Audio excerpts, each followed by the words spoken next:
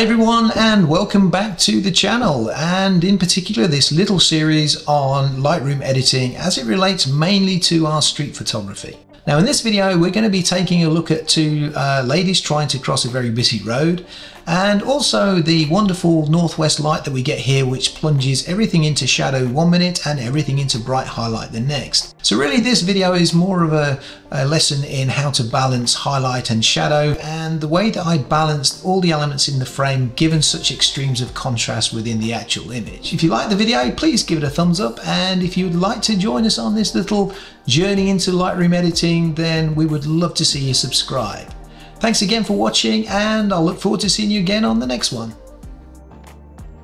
The main issue with this image is the difference between the foreground and the background. This was a really bright sunny winter's afternoon and the two figures here are actually in quite dark shadow and the main purpose of this edit is to try and balance the background with the foreground a little bit better. The first thing I'm going to do is crop the image. Now I'm going to go for a slightly squarer crop than normal. I'm going for a 5x7 crop and I do this a lot in my work. Um, I'm a great believer that the crop should fit the image and it's not always possible to fit uh, an image perfectly into a 3x2 frame. And the other thing as well, particularly on a day like this, you know, uh, we're wearing dark glasses because it's so bright outside. It's quite difficult to see through the viewfinder and you don't always see the edges of the frame. And I tend to, when working quickly, tend to concentrate on probably about 80% of the frame. And that normally corresponds to around about a 5x7 crop. So this will work really well with this particular photograph. I'm just going to drop it down to 25% just to make sure I'm happy with that crop.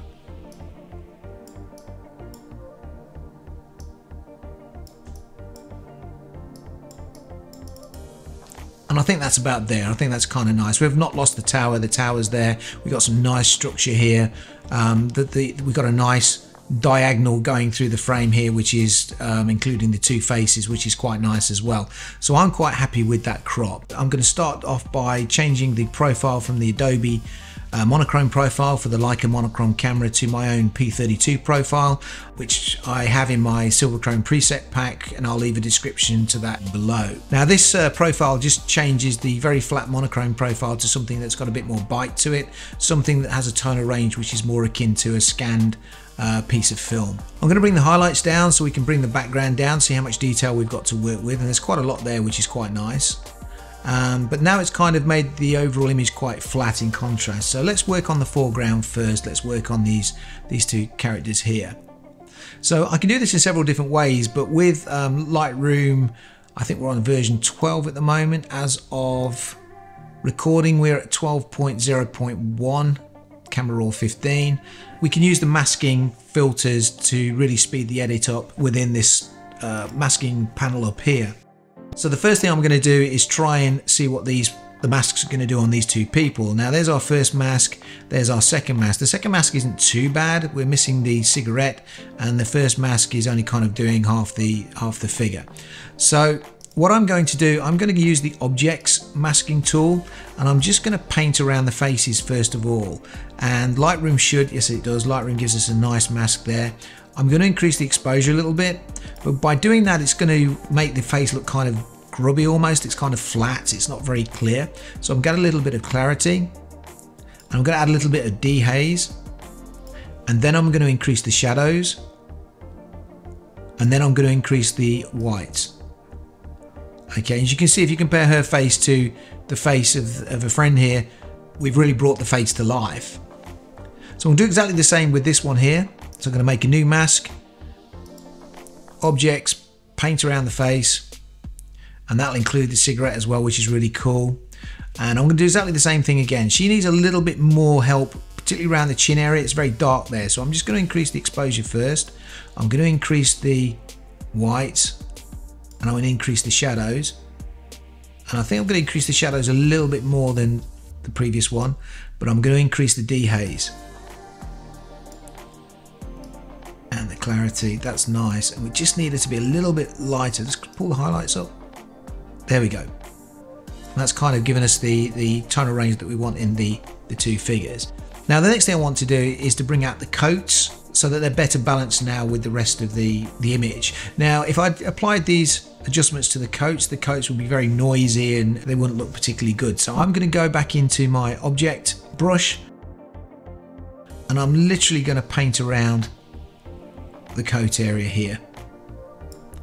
And hopefully Lightroom does a good job and it does. That's fantastic. I don't want to affect the hand. So what I'm going to do is click on the mask, do a minus, get a brush, and I'm just going to paint away that little area there. So with the coats, all I'm going to do is increase the shadows. And I'm going to increase the texture a little bit. And a little bit of clarity. Okay, now she's standing out, that's lovely. Do the same with this one, I'm going to take a, a, another object brush. I'm just going to paint all the way in here. Okay, and then I'm going to do exactly the same thing. Increase the shadows, increase the texture. I tend to use texture a lot on fabric um, because I think it just gives a nice kind of feel to the highlights, particularly in fabric. A little bit of clarity, maybe a little bit dehaze. Now we need to address the background. The background now is starting to look a little bit artificial compared to the foregrounds. Now to do this, I'm going to create another mask.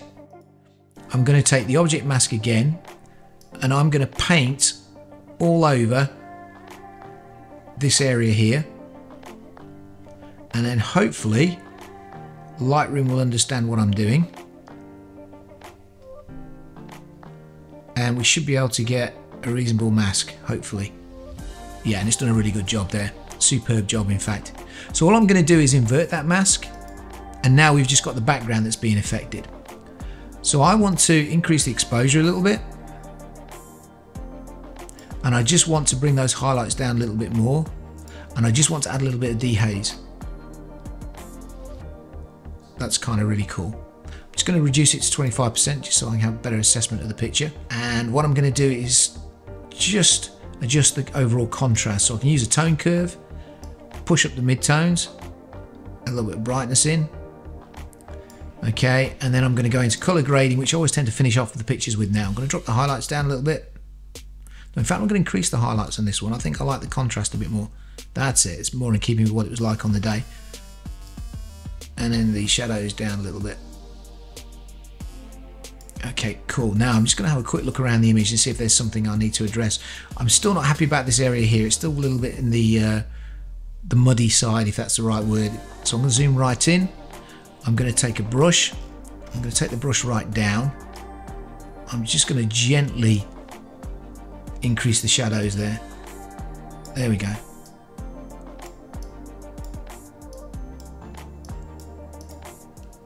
And same here. Just going to lift the, the shadow areas just a little bit. Okay, let's zoom out. Let's have a look at it. That's okay. I'm happy with that. Fit. I'm going to add some grain now. Zoom in 100% grain's quite nice there. I think I'm going to bump it up a little bit more to there. That's going to add to the photograph. Check it for dust spots. I think this one's actually quite clear. I don't think there's too many problems with this.